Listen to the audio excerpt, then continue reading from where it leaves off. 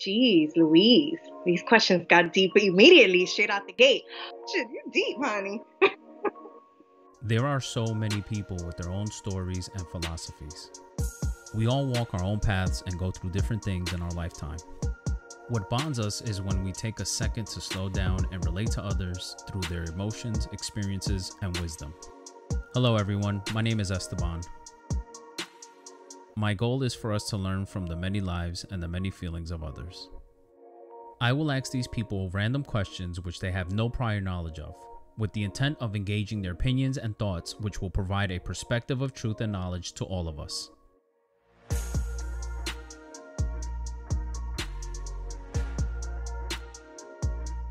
Hi, uh, my name is Angelique Imani Rodriguez. I um, am a writer. Uh, you can find everything you need to know about the work that I do on penhittingpaper.com. If you're familiar with me on Instagram, I go by Imani Sublime. I also run a online book club, more like a book list uh, that focuses on the works of writers of color. Uh, and that Instagram handle is at the Boricongo Book Gang. What is the proudest moment in your life so far? The proudest moment of my life Jeez, Louise, these questions got deep immediately, straight out the gate. Yep. Um, the proudest moment of my life, uh, geez, is becoming a titi. I guess I've always been like that's been one of the highlights is being becoming a titi for sure. Mm-hmm. How many um, nephews or nieces do you have? Um, I have uh, a nephew who just started um, high school. Shout outs to him. I have a two year old niece and also my niece, Casey Lynn, who's an amazing, amazing photographer. Um, you can find her at Castinator Visuals. you see the shameless plug for the fans, right? Yeah, I know her. She's great. yeah. um, how has that changed your life, though? Um, it changed my life because the world became bigger. Like, you know, you, you kind of, the world became bigger to me because the things that I do in my life and the things that I say and stand for, um, you know, this is the legacy. You know, this is the who we pass it down to and who we want to share those things with and who we do it for. You know, so I think knowing that that the world is a lot bigger than me, I think it became the world became a lot less selfish. Let's say that kind of grown up a little bit. Right. If you could go back in time and change a moment in your life, what would it be and why? Ciao. um, I think that the the problem with regret honestly is that you know one you can't really do anything about it. So it's less about like what would you want to change? And the question is more what did you learn? And i think that one of the biggest things for me is that healing comes in self-reflection. Healing comes in going inward that um, your validation and the love that you're seeking is always within you. Um, and that's that's what I think it is. Like it's not knowing that, I guess. If you want to say what would I change, is like learning that a lot faster. what is your biggest fear? Besides mice. yeah, me too. Uh, my biggest fear you know, I believe that when you say things out loud, you're casting a spell, right? So I think that my biggest fear is not following the path that my ancestors want me to follow. Like making, you know, not doing the things that is part of my journey and is part of my purpose and leaving this earth um, without doing those things. Let's get into it a little deeper in regards to your ancestors part because I believe in that too. If you wouldn't mind just elaborating a little bit on your um, your view on our ancestors and how do they play a role in our in our lives. Um, I think that every oh, so I had gone to this like it was this was during the pandemic. And um, it was a talk between Nikki Giovanni and Angela Davis. I forget, I believe it was Girls Trek, but I could be wrong. Um, and Angela Davis spoke about it in such a way that um, you know, talking about yourself as a future ancestor and like the work that you do lending itself to everything that came before us are, are, tools that we have to take with us into the future and pass along to to to those after us. I think ancestors play a part. I mean i we could get that's a whole podcast. Yeah, that's true. want to get into it. But i think it's just like honoring your ancestors is honoring the path that you're supposed to be on, is creating new lily pads and pathways for future generations. And just you know doing what you can do so that when it's your turn to be an ancestor people you know pre- people praying to the right ones i guess. Yeah that makes sense. And i totally agree 100% Shit, you deep honey. In your opinion what what do you think is the right way to love? Ooh, child, you catching me on the end of a breakup too. Um, um, I think that um, the right way to love is clearly. I think the right way to love is loudly. I think the right way to love is with a sense of responsibility to yourself. Um, I I saw this. I, I don't know his name, but I saw he he was talking about like, you know, I'm I don't need anybody to take care of me. You know, I can I'm gonna take care of myself for you, and I want you to take care of yourself for me because that you know if you're not doing those things, you know, it, it can't work. I think that that's the best way to love is like to make sure you're doing yourself right so you could do your partner right. Right. Um, does that apply to the relationship you just broke up with? Child.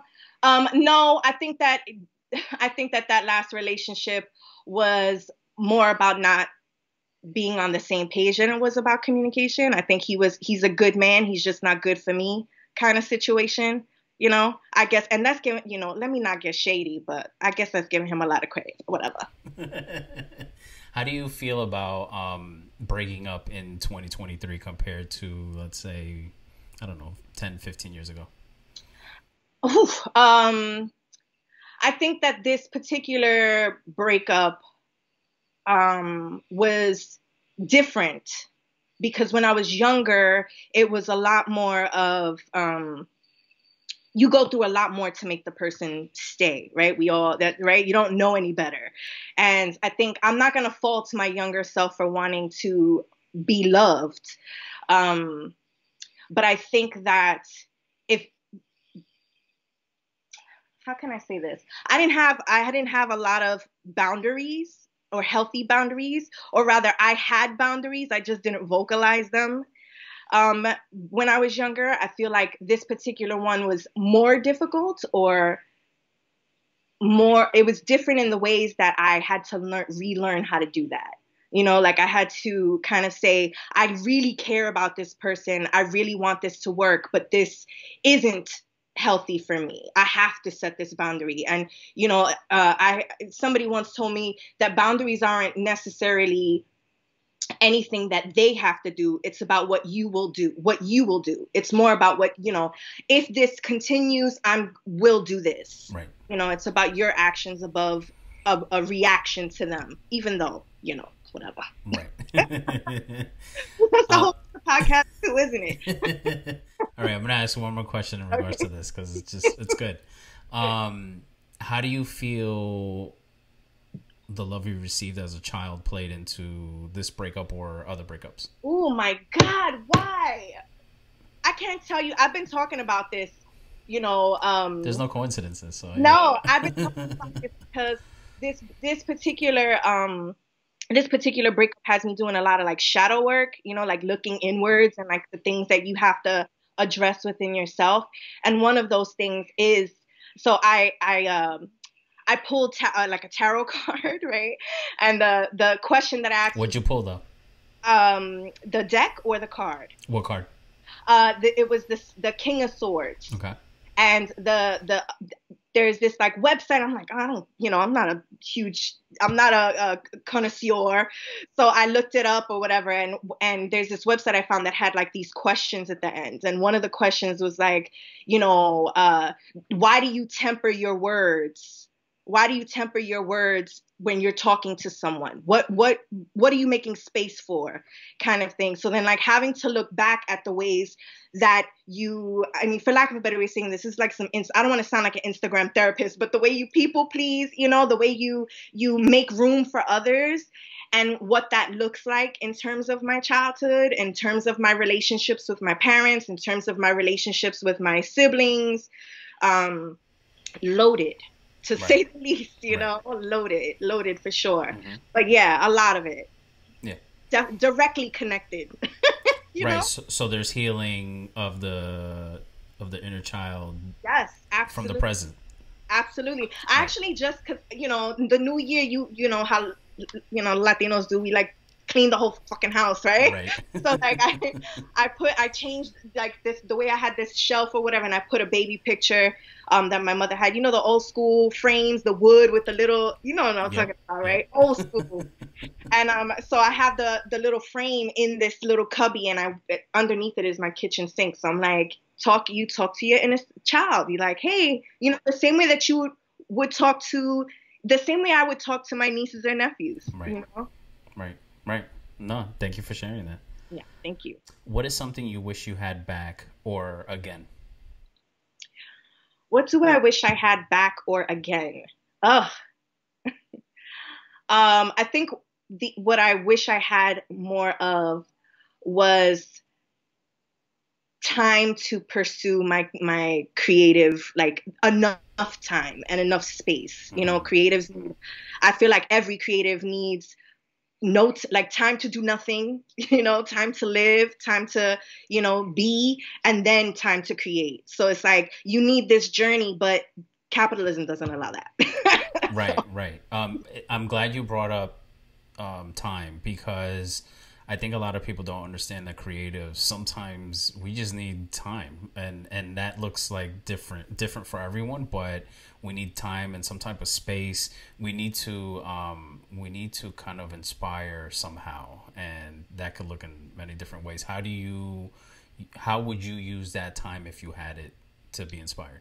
You know what's so interesting? Um you would like during the pandemic, during the lockdown, there was this conversation around like, you know, uh, you should be creating. And there were so many people that were prolific. And like, you know, I, I can say that at the start of 2022 and not 2020 was when I kind of like dug back into a lot of creative projects um, and got back to that part of my life because all, and I had all the time, right? You're working from home, you're, you know, you can't really go out, you have all this time, but then it's like, what's what else is happening? So it's all the other things that impacted too. So basically, all that to say is like, we can't really beat ourselves up because there's so many different factors around it. You know, think of Toni Morrison who wrote Beloved, right? She had two little boys when she's writing Pulitzer Prize winning novels. Like imagine mm. the kind of spaces that you would have to find to be creative when you have all of these things happening in your life a single right. um you know so i mean and i don't i don't got I ain't got no kids. But you know what I mean? Like you gotta find the time. It's like, you know, how those fitness gurus always say, yo, you don't find time to work out. You, I mean, you don't make time. You know what the fuck the saying is, right? Right. what is um what is non-negotiable in your life? Oof, non-negotiable. um, deceit. Um, you know, and deceit it is always found out because you know just like the sun and the moon is going to come out uh, whether i look for it or not. So if once i feel like you once i feel let me wrap that up in one phrase emotional unsafety. When when somebody makes you feel emotionally unsafe th- it, that's a non-negotiable for me. I'm very quick to be like i, I, I don't know how to get past that because then i really be my full self. And I'm a Pisces moon. I'm an emotional bitch. What can I say? So, you know what I mean? Like, I need somebody that's gonna, like, I need to feel secure.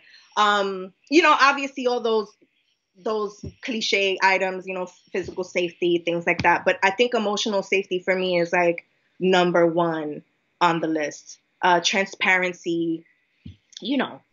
Mm-hmm, mm-hmm. Nice. What's your uh, rising and your sun?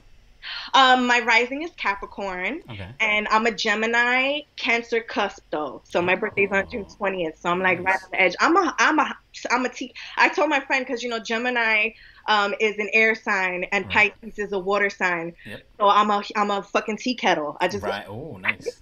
That's a good way to put it. Yeah. The last thing I'm gonna ask is, um, for the people that are watching this, what um piece of knowledge, advice, or even a little antidote that you would um, want to say to them? Um, I think um, no, I know. One of the things uh, is to be proud of every decision that you've made because every every decision has gotten you this far, and um, to be proud of what you've done today, even if it was making yourself a meal. Um, you are incredible. You are wonderful. Everything that you want, you should get. You deserve it. And if you asked the if you asked the world today if somebody thought of you, the answer is yes. Is there anything you would like to promote or say before we go? So I do have a few things. Like I said, I, I do a um, online book club book list uh, that focuses on the works of writers of color. That's called the Bori Congo Book Gang. I also have, um, I'm an editor for a series of writers of color on food called Fried Eggs and Rice. And lastly, um, I'm working on my own collection of flash fiction called Where We're From, which is set in the Bronx and is stories about people living and surviving and thriving. Um, you can find all of this information out on penhittingpaper.com.